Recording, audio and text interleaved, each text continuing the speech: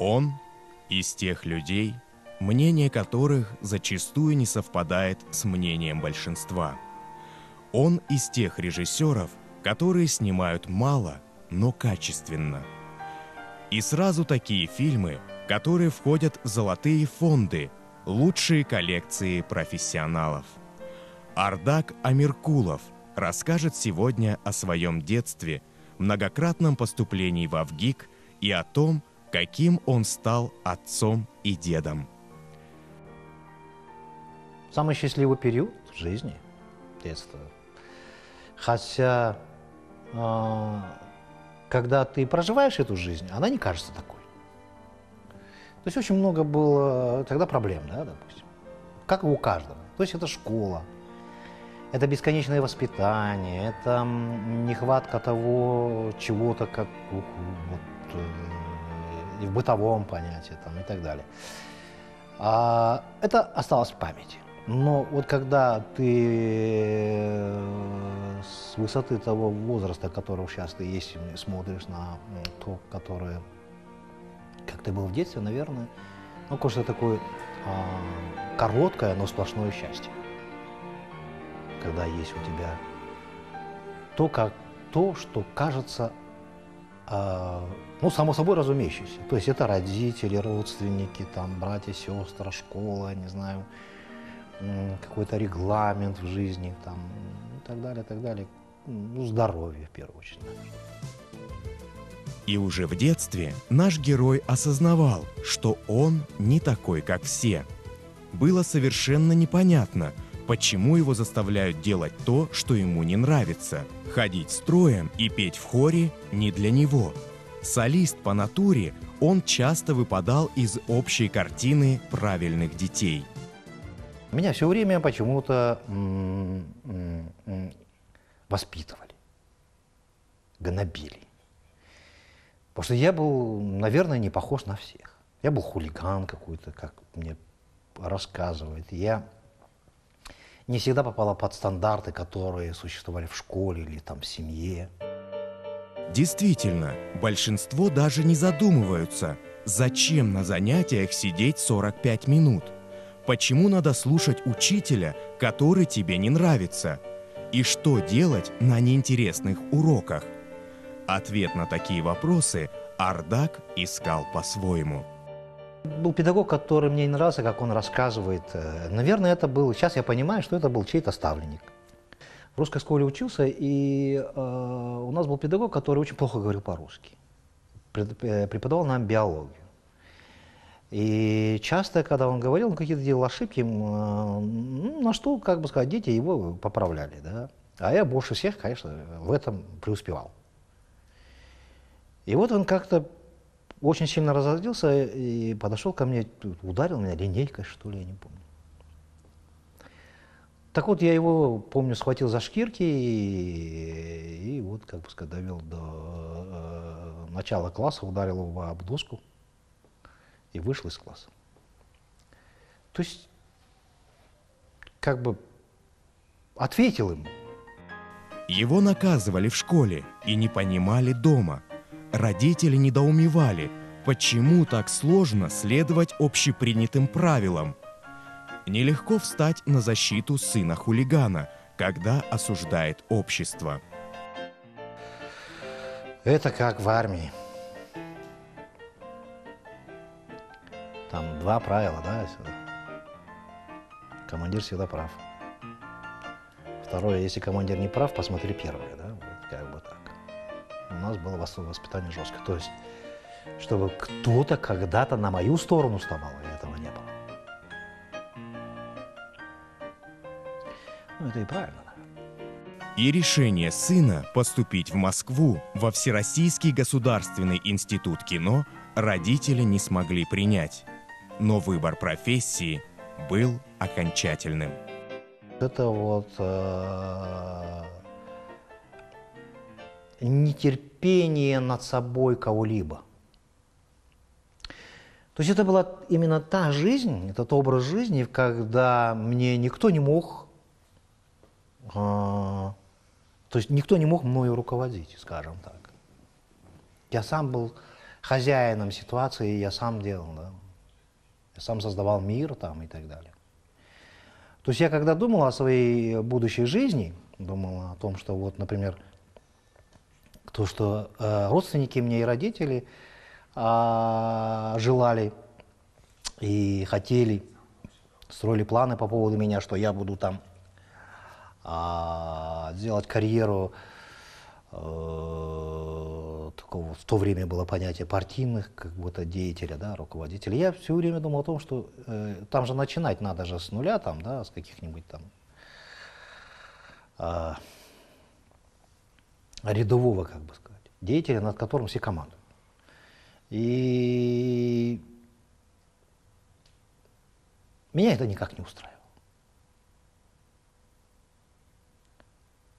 Ради всех благ и святых меня, конечно, это никогда не устраивало, что надо мной был бы кто-то командовал мной, и был командиром. Поэтому, большей части, конечно, режиссера кино а, меня, как бы сказать, и прельщало тем, что он такой хозяин, как бы сказать, ситуации.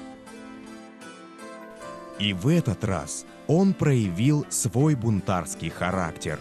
Множество людей, не сумев пробиться в первый раз, прощаются с мечтой, выбирая другой путь. Но наш герой был твердо уверен в успехе. Я играл еще на гитаре, мы, у нас был ансамбль, мы играли там на танцах, у нас в то время так это было, значит, а, а, вот. И когда люди узнали, что я хочу поступать в конечно, это на мной все смеялись. Это же не сейчас. В то время был единственный институт на весь Советский Союз, который готовил кинематографистов. Это был ВГИК. А режиссеров так вообще набирали 10 человек. И то часть этих мест отдавались за границу. Из-за границы приезжали. Конкуренция там была бешеная. Вот в МГИМО или МГУ гораздо меньше было конкуренции, чем в АВГИК на факультет режиссера. Тем более там были дети всех известных этих режиссеров, актеров того времени, российских. Поэтому, конечно, это была практически мечта неосуществимая. Я пять раз поступал в АВГИК.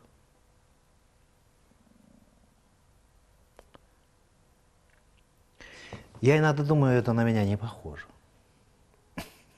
На сегодняшнего меня это нисколько не похоже. Как так? Это, когда ты проживаешь, это кажется нормально, наверное. А когда вот ты уже прожил и прошло какое-то время, ты оглядываешься назад и думаешь, откуда у меня хватало вот этих не только физических, а, моральных каких-то вот э, сил и оснований бесконечно поступать в Авгик. В этом, наверное, есть какое-то какое отличие, наверное. Но хотя для, для меня это как бы для меня самого это героизм. Может быть, для кого-то другого это э, глупость большая.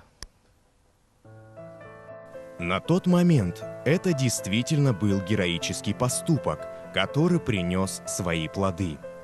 Ученики мастерской Соловьева – открыли новую страницу в истории казахстанского кинематографа.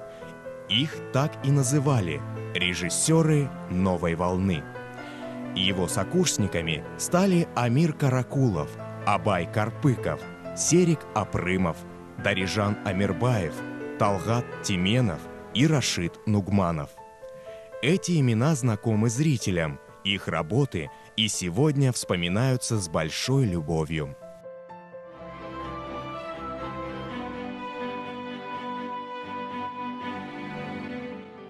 Семейная жизнь в некотором смысле стала тоже вызовом родственникам, общественности. Его супруга Эвелина по национальности русская, по возрасту младше супруга. Людям с разным менталитетом порой приходилось нелегко. А Познакомились мы с ней э, на фильме «Атрар». Она пришла работать к нам э, ассистентом художника. Она к этому времени закончила Новосибирское э, художественное училище. И пришла устраиваться на киностудию, устроилась нам на картину, мы там с ней познакомились. Тогда она была молодая, очень юная девушка, а я уже а, такой прошедший Крым и Рым человек. У нас разница в возрасте 12 лет. С одной стороны, она как бы уже давно стала такой казашкой, понимает все традиции и так далее, и так далее. Вот. Что такое даже худалых там, и, и какие надо подарки дарить, как надо принимать гостей. Вот. Но с другой стороны, конечно, а, вот эта а, не казахская ментальность, она все равно существует. С этим надо как-то жить, это надо понимать, и в этом есть а, как бы сказать, это вот та приправа, которая делает эту пищу более а, пикантной, что ли. Вот это, с одной стороны, вроде бы и есть определенные проблемы, но с другой стороны, это как-то приукрашивает а, тот мир, в котором я живу. Но они сумели стать поддержкой и опорой друг другу. В сложное время Эвелина подставляла плечо, находила нужные слова и оберегала очаг. Сегодня Арда Камеркулов не мыслит жизни без нее. Она художник, но прямой своей профессией не занимается, потому что, ну, наверное, очень много работы по дому. Потому у нас семья такая, безрукая, безногая, не знаю там, а, и с большим ртом все. А все пацаны, поэтому вот такая ситуация. Им все время надо что-то готовить, за ними надо ухаживать. А самый младший э, сын это я. Я самый безвластный человек у нас дома. Я как тот охотник, который должен домой принести мамонта, заработать деньги. А, Это так видимая власть, там, они мне позволяют, э, жена позволяет быть мне там, наверное, хозяином, там, чувствовать себя там, руководить всем этим делом, решать вопросы. На самом деле я от них больше зависю, чем они от меня. Вспоминая свое детство, Арда Камеркулов благодарит своих родителей, но в то же время не старается перенимать их методы воспитания. Он дает больше свободы, чаще балует и не требует неукоснительного выполнения житейских указаний.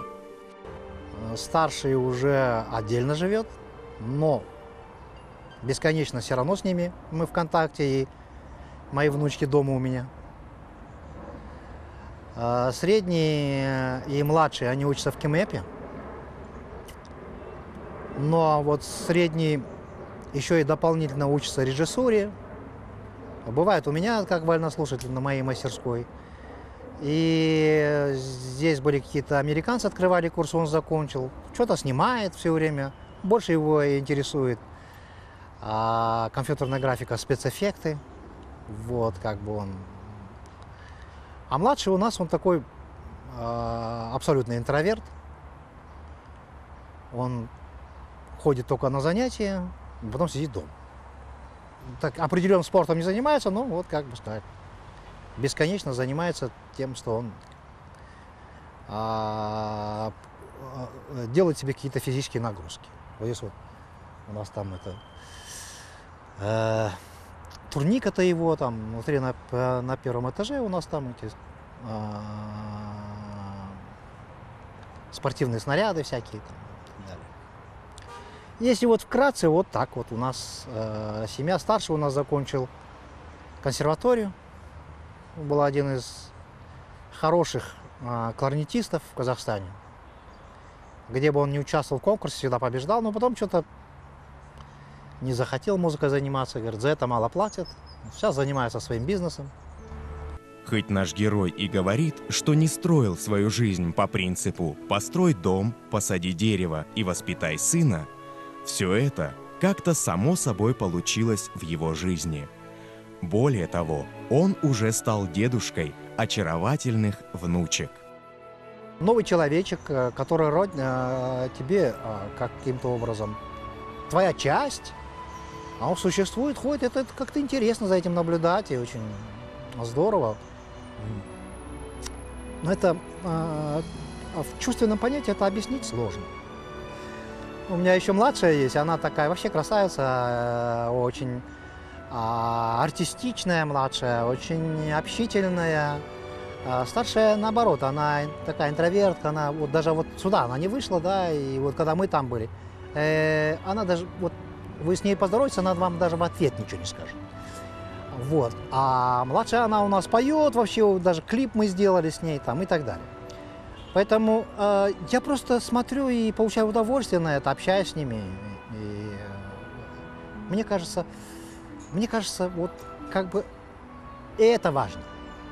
Старшей внучке 8 лет, а он все еще не прочувствовал до конца, что это такое – быть дедом. Оказалось, причина проста – в детстве мы живем днями. Вот. В юности, более в зрелых возрасте мы живем месяцами. Сейчас я живу годами.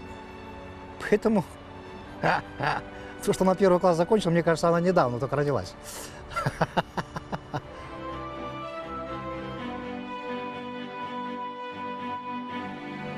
Еще одно, а возможно на данный момент основное занятие Ардака Меркулова коневодство. На его счету огромное количество наград самых престижных скачек Европы. В начале 2000-х он начал заниматься бизнесом, а разведение лошадей и подготовка к скачкам, что ни на есть престижный и прибыльный бизнес. Разумеется, со своими трудностями. Конечно, это бизнес – это война, понятно. Там тоже с утра до вечера. Но я там видел плоды своих работ. Я зарабатывал деньги. И это была вот так поставлена задача – заработать деньги, кормить семью. Вот какая была задача. То есть на киностудии была задача сохранить киностудию, то здесь была простая задача – накормить семью. В качестве режиссера он снял четыре картины. Нашумевший фильм Гибель Атрара в 1991, Абай в 1995, записи Рустема с картинками в конце 90-х и «Прощай, Гульсары» в 2008 году. Как говорит сам режиссер, все эти работы стали лишь данью уважения стране, друзьям и времени. Я считаю, что я очень компромиссный человек. Хотя мне все говорят, что это не так. А, вот Атрар. Причем при том, что это лично моя картина, как я думаю. Сценарий написал Алексей Герман и Слава Кармали. Наверное, так как они написали, сложно было бы кому-то другому написать. Для того времени, да. Я благодарен им, и это было... Ну, это ничего ровным счетом не значит, я вам могу сказать, как режиссер. Вы можете получить отличный литературный сценарий и снять черти что. Поэтому я считаю это моей личной победой, да, допустим. Но и в то же время, по большому счету, когда я думал о своем будущем как режиссер, когда я учился в Авгике, я не думал, что я буду снимать такое кино, как «Атрар». То есть здесь уже был компромисс. Когда я снимал картину «Амбай», я шел на откровенный компромисс. Это было э, как бы конъюнктура почти. Но это был 93 год. Полное отсутствие всякого присутствия. То есть полное отсутствие всяких денег было в государстве. Какое кино там? Пенсионерам пенсии не платили. И мы умудрились убедить правительство, что вот в 95 году будет празднование юбилея Абай, мы обязаны снять кино. Да, мы очень много там спорили, очень много мы там сидели в приемных, чтобы спасти киностудию. Это сказали они так, да, хорошо, мы вам дадим деньги, ну, снимать будешь ты. И это тоже компромисс. Слава Богу, я могу с открытым лицом сказать о том, что я очень честно сделал это кино. При всем при этом. Я горжусь этой картиной. Хотя изначально сама как бы ситуация была такая компромиссная. Спрощай гусары. Мы долго думали, а, ну, Чингис Турикулович очень хотел, чтобы мы сделали кино. Он хотел, конечно, чтобы мы сделали Буранова Паустанка, ну, очень большая вещь. И в то время, когда мы разговаривали, было не так много денег в, э, в кино.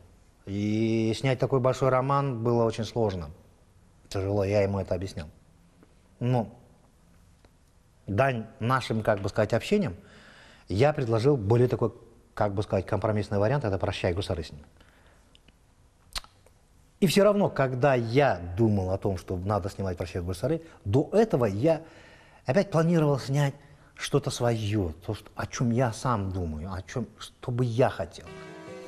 А фильм, отражающий его суть, еще впереди и ждет благоприятного времени для выхода на свет. И вот только, когда я задумал сделать свою картину, уже ни от кого не зависит, посмотрев вокруг себя, вроде бы я от всех, как бы сказать, всем отдал. Всем и киностудии отдал, и э, государству нашему, как бы сказать, да. Слава богу, меня отметили, там, лауреат государственной премии, там, и так далее. Даже Чингис Айтматов.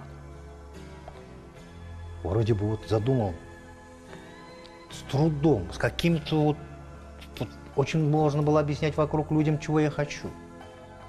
Как нужно писать это основы никакой, ни литературной основы, ни, даже примеров такого нету. Ни в литературе, я смело могу об этом сказать, ни в кино. И это такой, как мне кажется, со взглядом многих людей это будет такой ничтожный эксперимент. А для меня это, кажется, великий эксперимент. Да? И в этот момент происходит э, вот такое есть проклятие жить тебе в период перемен. Происходит такое, и меня останавливает. Денег нет. В 90-е годы он стал директором киностудии «Казахфильм». Ни он сам, ни кто-либо из его ближнего круга не мог представить его в кресле начальника.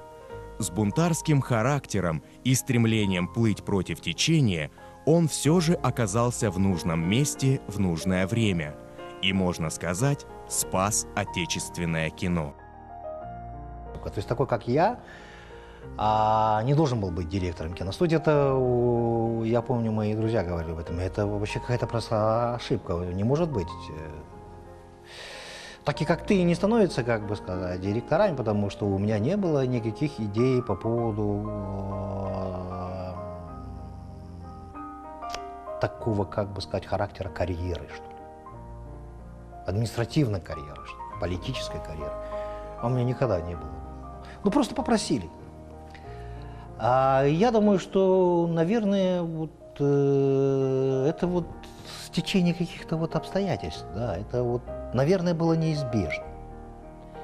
Не то, чтобы я хотел сказать, что вот в тот самый трудный период, 92 год, это а, именно я должен был директором, чтобы киностудия спаслась. Наверное, был бы какой-то другой директор, возможно, то же самое было бы. Не, очень трудно определить. Но то, что, как бы сказать, я выложился там, это э, сказалось на моем здоровье, ну, это точно, абсолютно. И чувствовал я себя там достаточно адекватно.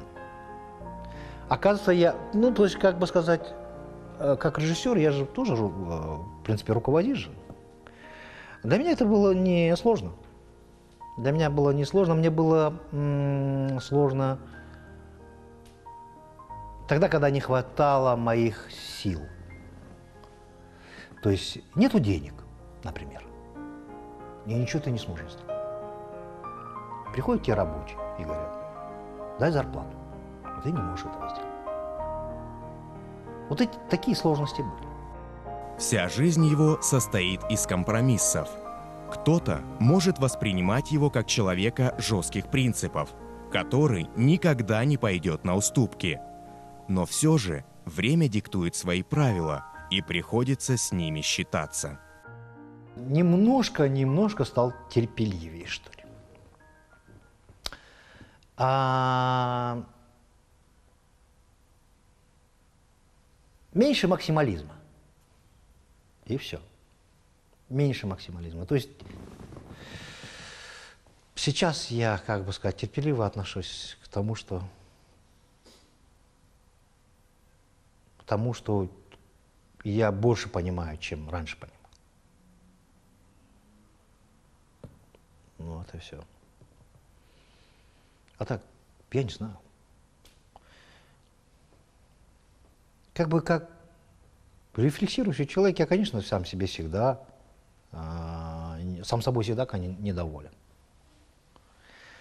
Но с течением времени, когда проходит какое-то время, ты видишь результаты, и ты понимаешь, что ты был прав. Не в том, что там есть какое-то доказательство, а исходя из собственного состояния, что ли. Он называет себя циником и снобом в хорошем смысле слова. По темпераменту относится к интровертам, склонным к рефлексии. Но однозначно сказать нельзя, ведь практически вся его жизнь соткана из противоречий. Если бы я, наверное, бы слушался многих, наверное, я не был бы режиссером. Если бы я слушался многих, я, наверное, бы э, был бы здоровее. Или наоборот. Ну, очень трудно сейчас определить. А сослагательного, как бы сказать, направления ну, не бывает. Но в то же время, как бы сказать, э,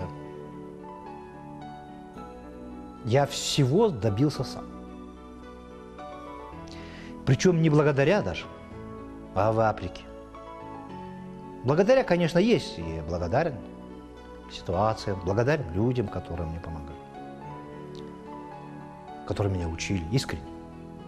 Были педагоги такие. И педагогов некоторых я как бы сам находил, да, читая, созерцая. А были непосредственно педагоги. И в школе у меня несколько было педагогов. В институте первом, в Авгике Сергей Соловьев. Потом, конечно, меня а жизнь, э, как бы сказать, повезло мне в жизни, что я стал дружить и работать с э, Алексеем Германом и со Светланой Кармалитой. Вот. Э, мы дружили с Чингизом Айтматом. А, я очень благодарен Алжасу Сулейменову, который увидел во мне что-то там, помог мне а, снять мою первую картину, когда он был писатель Москве. То есть есть, были ситуации, которым я благодарен. Но если бы не было бы того фундамента, которого я делал, то и этого тоже бы, конечно, не было. То есть, если бы я бесконечно не поступал в Авгик, я бы не учился. Если бы я бесконечно не стучался в двери в кино, значит, я бы, наверное, не встретился с Ложасом Сулейменом. И так далее, так далее. Ардака Меркулов производит впечатление циника, который знает о жизни больше, чем остальные, и который не видит смысла бороться и доказывать свою правоту. Но в его глазах еще есть искорки того юного хулигана, романтика, который ради своих убеждений готов на многое.